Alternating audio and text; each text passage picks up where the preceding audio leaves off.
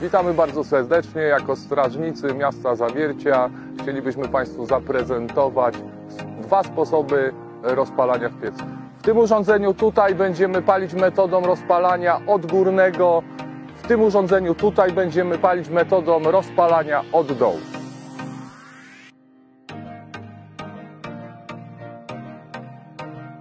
Na początek dajemy dykturę.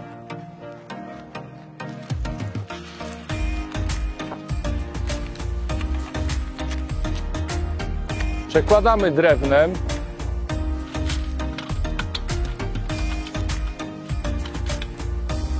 Więc krótko mówiąc, y, węgiel będziemy nasypywać na rozpaloną podpałkę, czyli na rozpalone drewno. W urządzeniu palonym od góry zrobimy to wszystko na odwrót, czyli w fazie początkowej nasypiemy węgla.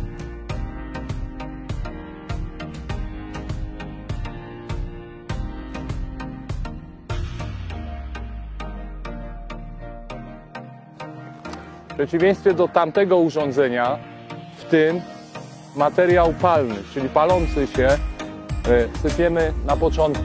Tam będziemy dokładać w momencie po rozpaleniu. Tutaj rozpalimy i tego urządzenia już w zasadzie nie będziemy obsługiwać. Do zakończenia e, całości spalania, całego procesu spalania. Na przygotowany węgiel dajemy sobie dykturę, może to być rozpałka, niekoniecznie bądź papier jakiś. Chodzi o to, żeby to urządzenie po prostu zaczęło działać, żeby, ono, żeby nam się to fajnie rozpaliło.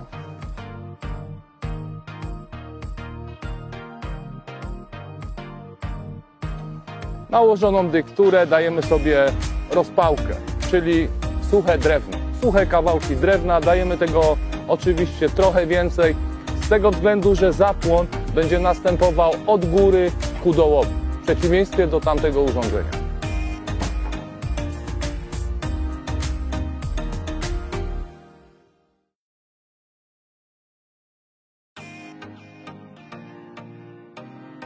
W głównej mierze chciałem zwrócić Państwa uwagę na to, co będzie się wydobywało tutaj. Jesteśmy w domu, jesteśmy w piwnicy, jesteśmy w kotłowni, jesteśmy w pomieszczeniu, gdzie mamy urządzenie grzewcze. Nie widzimy tego, co dzieje się na zewnątrz. Proszę zwrócić uwagę na to, co wydobywa się przy metodzie spalania odgórnej z komina, a przy metodzie spalania dolnego, czyli materiał zostaje zapalony od dołu i jest dokładany później stopniowo do tych urządzeń. E, Jak tutaj widać, to urządzenie po prostu przymykamy, proces rozpalania już się w zasadzie rozpoczął, więc możemy delikatnie dopływ powietrza przymknąć.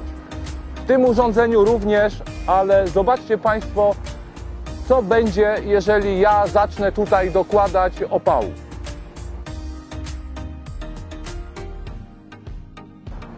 Oczywiście podobnie jak w tamtym urządzeniu. Przymykamy sobie drzwiczki, gdyż nam się tutaj już materiał rozpalił.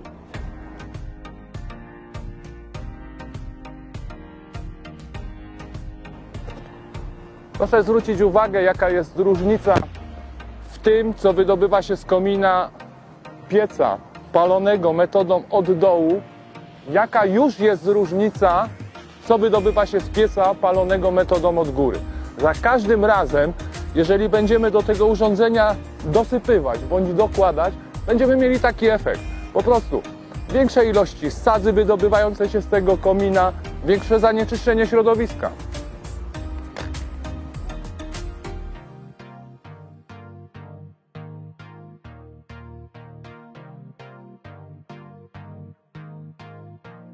Chciałbym tutaj zwrócić Państwa uwagę. Po prostu mamy zimy cieplejsze, że tak powiem. Temperatura zimą e, spada rzędu minus 10, minus 15 stopni. Więc nie mamy takich zim, aby za każdym razem dokładać do tego piecyka duże ilości zasypywanego materiału. Zasypujmy z rozsądkiem. Nie dopuszczajmy do tego, aby palący się tam materiał był zasypany całkowicie. Lepiej dwa razy zejść gdzieś do kotłowni czy do piwnicy, dołożyć do tego urządzenia, a naprawdę oddychać innym powietrzem w tej okolicy i wszędzie. Ja Państwu pokażę, ja Państwu pokażę Co się dzieje, jeżeli my dołożymy za dużo, za dużo? Ja tutaj starałem się zrobić to jak najlepiej, czyli ta ilość dołożonego materiału jest y, mniej więcej powiedzmy na poziomie dobrym. Ale spójrzcie Państwo, co będzie, jeżeli ja tego materiału dołożę za dużo.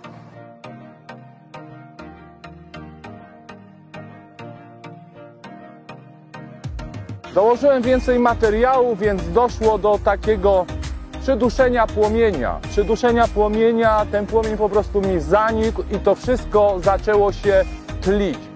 E, Zanim dojdzie do rozpalenia tego materiału, który już tam jest dołożony, do takiego stopnia, żeby tutaj e, wydobywał się jak najbardziej czystszy, czysty dym, że tak powiem, e, będziemy mieli taki efekt.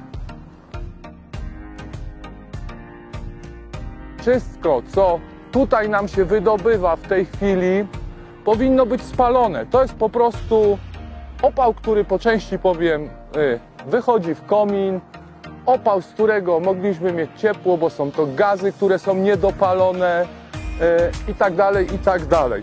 Pokażę Państwu, jaka będzie różnica, to najbardziej zobrazuję, co zostanie nam na ściankach w kominie w tym urządzeniu, po paleniu, dajmy na to 60-minutowym i co zostanie po paleniu na ściankach w tym urządzeniu.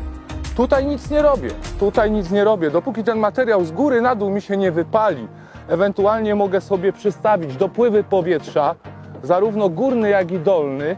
Górny pozostawmy lekko uchylony, żeby ten obieg powietrza był cały czas.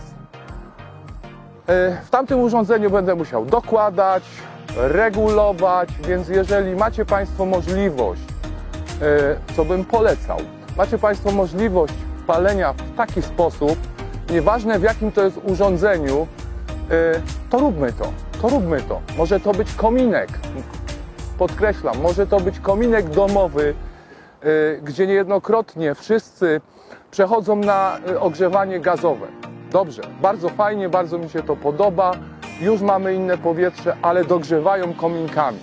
Te kominki nie muszą funkcjonować 24 godziny na dobę, mogą funkcjonować 2-3 godziny. Spróbujmy podobną metodą odpalać drewno w kominku. Efekt naprawdę będzie inny. Będziemy mieli czystą szybę w kominku, będziemy mieli inne powietrze i zaoszczędzimy na opale. Czarny dym wydobywający się z komina świadczy o złym spalaniu w urządzeniu, natomiast biały dym bądź bezbarwny świadczy o dobrym spalaniu w urządzeniu. E, Chciałbym Państwu tutaj pokazać, jeżeli mi się uda, jeżeli będzie to możliwe, bo ten okres palenia mamy tutaj bardzo krótki, e, co po jakimś czasie zostaje tutaj w ściankach komina. E, Proszę zobaczyć.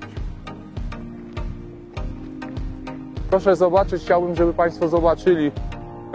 To osadza się nie tylko na ściankach komina, ale również idzie do atmosfery. Sprawdzimy teraz, co jest w urządzeniu palonym od góry.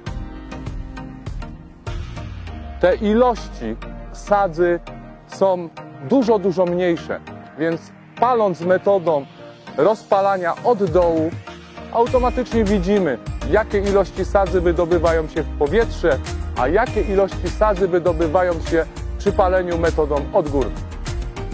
Reasumując cały nasz pokaz, chciałbym Państwa zachęcić do palenia w piecach, jeżeli jest to możliwe, w piecach, w kominkach, e, gdy będziecie Państwo wymieniać te urządzenia, aby to spalanie odbywało się metodą odgórną, a odchodźmy już od palenia w piecach metodą rozpalania od dołu.